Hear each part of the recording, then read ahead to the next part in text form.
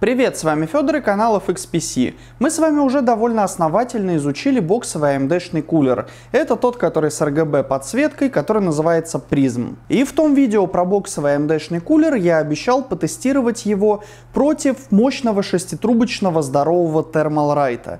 К сожалению, сразу после съемки того видео я этот кулер уронил и погнул пару трубок. Но ничего страшного, потому что у меня есть Другой мощный толстый шеститрубочный Thermalright. Это тот, который мачо в комплекте со 140 миллиметровым вентилятором. А чтобы видео было еще интереснее, мы посмотрим на них в сравнении с шеститрубочным снеговиком с Алиэкспресса с двумя 120 миллиметровыми вентиляторами. В теории хороший и дешевый кулер. Посмотрим. Прогревать все системы охлаждения мы с вами будем при помощи 8-ядерного Ryzen 7 1700, разогнанного до 3,8 ГГц.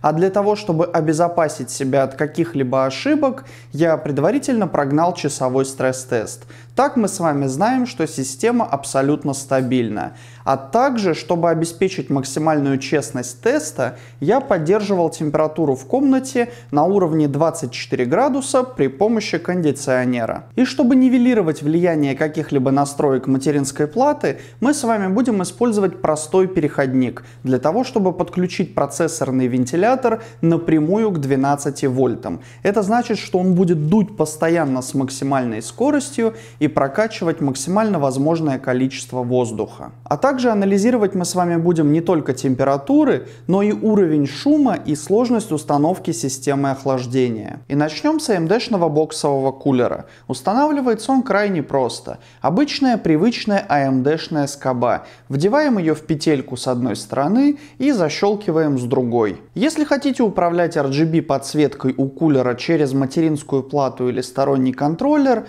тогда придется к кулеру подключить еще и дополнительный кабель для управления RGB подсветкой. Красиво, просто и эффективно. Обдувает систему питания процессора, немного попадает на оперативную память, а также на кулере есть регулятор оборотов. Два режима L и H, то есть Low и High, то есть низкие и высокие. В обоих режимах вентилятор работает достаточно громко, но не забывайте, что он подключен к 12 вольтам, то есть никто и ничто его не ограничивает, кроме этого регулятора на самом вентиляторе. Давайте послушаем.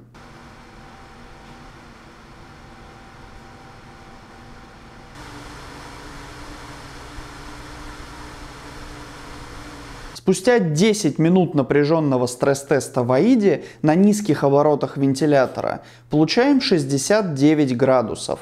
Выкручиваю высокие обороты и жду также 10 минут. Получаю 64 градуса. Отлично, у меня есть выбор между тишиной и производительностью. Теперь давайте перейдем к следующему кулеру, к снеговику. И в теории он должен быть намного лучше, потому что теперь у нас целых 6 тепловых трубок вместо 4 у боксового, намного больше алюминиевых ребер у радиатора, а также целых 2 120 миллиметровых вентилятора против одного 92 миллиметрового. Устанавливается он по такому же принципу, все та же AMD-шная скоба, но на сей раз нужно прилагать несколько больше усилий. Уровень шума крайне приятный, вентиляторы тихие. Давайте послушаем.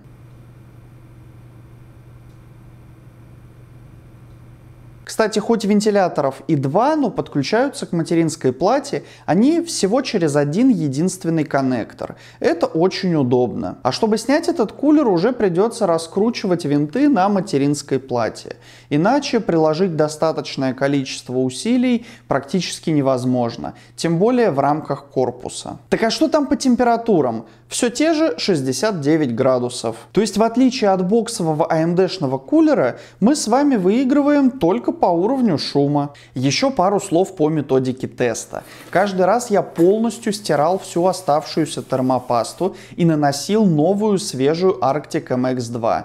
Просто пупырышек в центр процессора. Под весом кулера паста идеально размазывается и заполняет абсолютно все полости, которые должна. Если посмотреть на скальпированный Ryzen 1700, то мы увидим, что мой слепок полностью покрывает чип самого процессора. Окей, сейчас придет Thermalright Мачу и покажет, кто тут самый настоящий альфа-самец. Он у меня уже многое повидал, побывал не в одном десятке компьютеров. Это хороший кулер, который мне очень нравится. У него 6 тепловых трубок, и в отличие от предыдущих кулеров нет прямого контакта между трубками и теплораспределительной крышкой процессора. На этот раз у нас есть теплораспределительная пластина из никелированной меди. Кулер красивый, асимметричный дизайн радиатора позволяет установить вентилятор так, чтобы не перекрывать слоты оперативной памяти, но при этом сохранить объем радиатора. В плане шума Thermalright безоговорочно безоговорочный победитель. Это самый тихий кулер, который я сегодня тестировал. И опять же, его 140 миллиметровый вентилятор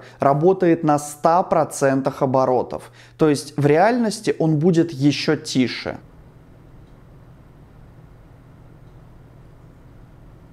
А что по температуре? Все те же 69 градусов, как бы странно это сейчас не звучало. И последнее, что я проверил, это боксовый AMD-шный кулер на низких оборотах, подключенный в разъем на материнской плате. В биосе я выбрал профиль Silent – то есть тихий. И спустя несколько минут стресс-теста я получаю 74 градуса на процессоре. При этом вентилятор работает тише, чем в предыдущих случаях, но тем не менее и снеговик, и Ride оказываются еще тише. Выводы? Да фиг его знает, если честно. Термопаста нам с вами никак не мешает, обороты вентилятора зафиксированы на 100%, то есть тоже ничто не мешает. Возможно, мы имеем разную продувательную способность у вентиляторов, и поэтому большой радиатор плюс слабый вентилятор не равно хорошо. То есть, по идее, надо бы протестировать все три кулера с одинаковым вентилятором